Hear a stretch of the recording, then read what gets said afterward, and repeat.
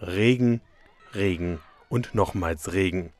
Trotz Ferien geht bei diesem Wetter wohl kaum ein Kind freiwillig vor die Tür. Die große Ausnahme von dieser Regel kann allerdings in Oberstaufen bestaunt werden. Hier spielen 36 Mädchen und Jungen in verschiedenen Gruppen gerade mit vollem Einsatz um die Campmeisterschaft.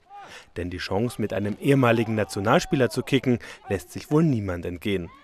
Unter den teilnehmenden Kindern sind etwa 20 Schülerinnen und Schüler aus dem Diakonischen Hör- und Sprachzentrum der Zieglerschen.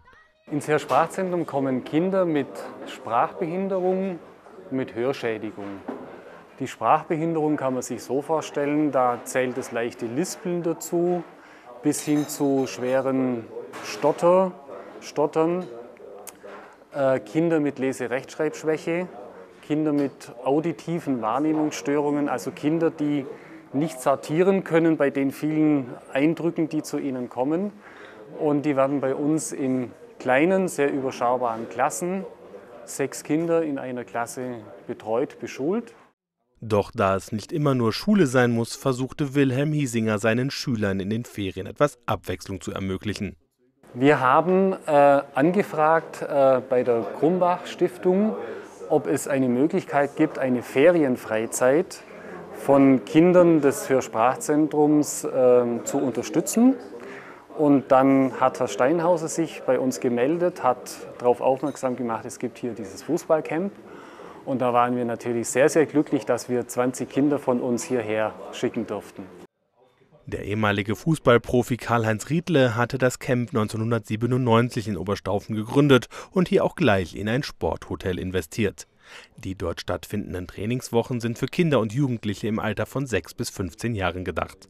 Vom Vereinsspieler bis zum Hobbyfußballer kann jeder mitmachen.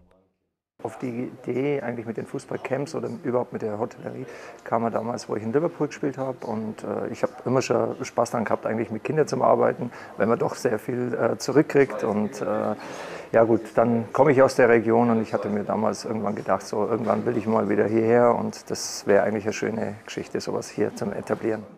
Eine schöne Geschichte ist es auch für die 20 hör- und sprachgeschädigten Kinder aus Baden-Württemberg. Sie dürfen in bunt gemischten Gruppen mit anderen Altersgenossen trainieren und dank vieler Ausflüge auch das Allgäu kennenlernen. Probleme habe es bei dem gemeinsamen Training kaum gegeben, so Riedle. Fußball verbinde eben. Und die Kinder hätten durch diese Erfahrung an Selbstbewusstsein gewonnen.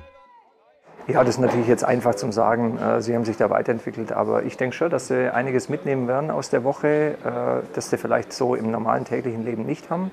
So vor allem auch äh, gewisse Aufgaben, wo wir in dem Camphaus auch für die Kinder bereitstellen. Also sie müssen natürlich auch alle ein bisschen mithelfen im, im Haushalt oder in der Küche und, und das machen sie alle ganz toll und ich denke, dass sie da auf jeden Fall ein bisschen auch für sich was mitnehmen und nochmal speziell aus dem Klettergarten, glaube ich, haben sie auch viel Selbstbewusstsein mitgenommen.